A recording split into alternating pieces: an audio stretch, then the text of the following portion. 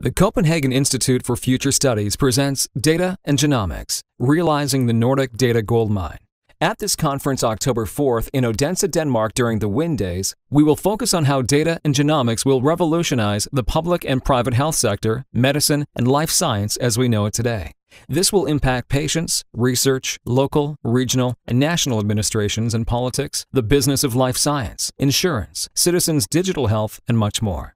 We need to address how to prepare for the challenges, how to tackle the must-win battles, and how to benefit from the new opportunities the data and genomic revolution is opening for citizens, society, and businesses, and how the data gold mine in the Nordic countries can optimize the emerging health models. The Nordic countries are famous for their high societal trust, for collecting a vast amount of data, and for trusting their governments both in managing the data banks and offering very good framework for research and development in health and life. But in reality, there are many challenges that slow down or kill opportunities. Among these challenges for the Nordic data goldmine are who can and should have access to the data, who controls the data, and how the data can be used how to ensure local and global standards and usability frameworks, how to empower the person in the personalized medicine approach, how do we optimize the individual and the social benefit and impact.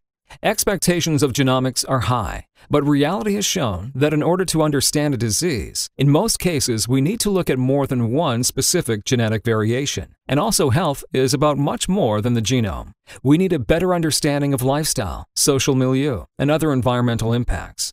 In future, we will see wearables and self-monitored data for health and lifestyle. This means giving some responsibility to the individual in form of access, control, and ownership of data, and the right to decide for whom and when the data might be shared and used, placing the person in the center of personalized health.